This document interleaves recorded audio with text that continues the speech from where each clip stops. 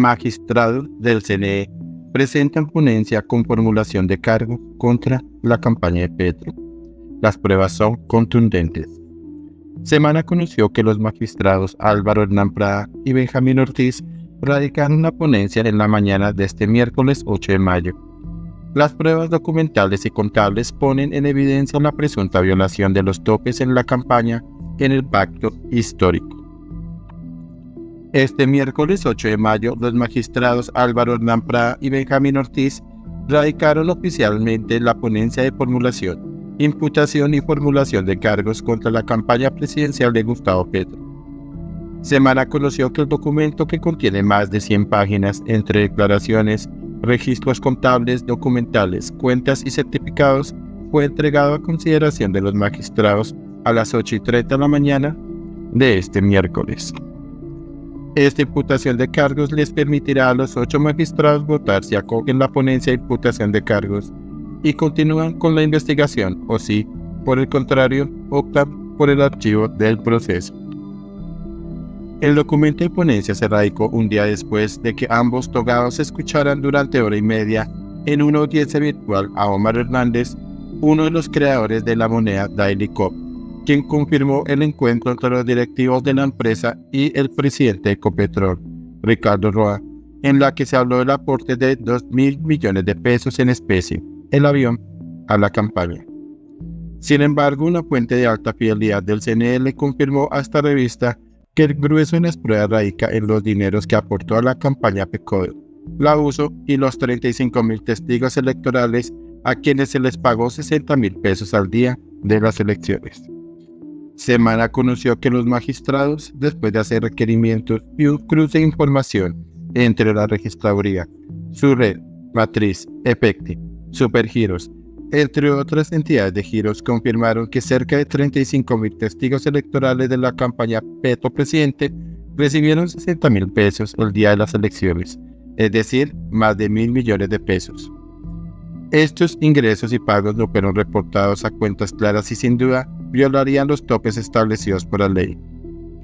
Este medio también estableció que el CNE solicitó a la registraduría la relación de testigos acreditados por la campaña Petro Presidente y con base en estos datos les pidieron a las empresas de giros que informaran si esas personas habían recibido pagos por el día electoral. Los resultados sorprenden.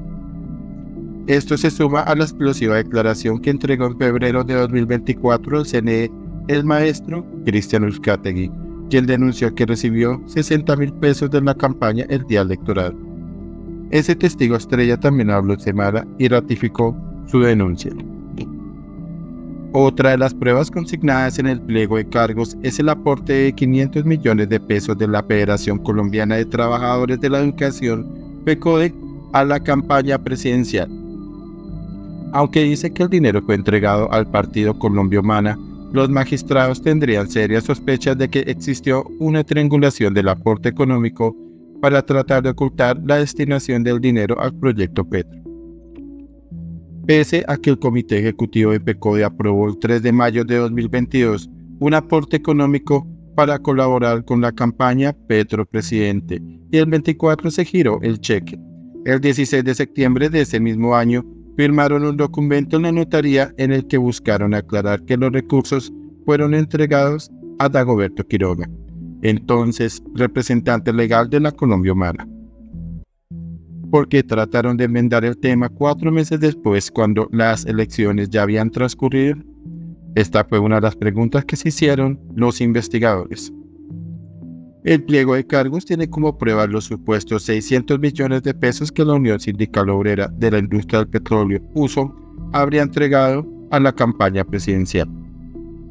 El CNE conoció un documento oficial de una auditoría de la Asamblea Nacional de Delegados que confirma el giro.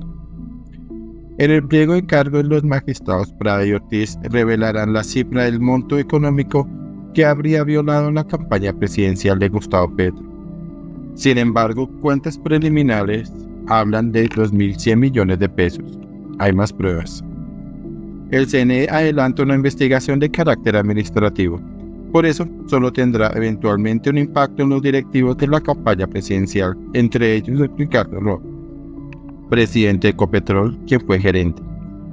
No obstante, las pruebas del Consejo Nacional Electoral podrán terminar en manos de la Comisión de Acusaciones, la Fiscalía y la Corte Suprema de Justicia que investigan directamente a Gustavo Petro y a otros funcionarios de alto nivel.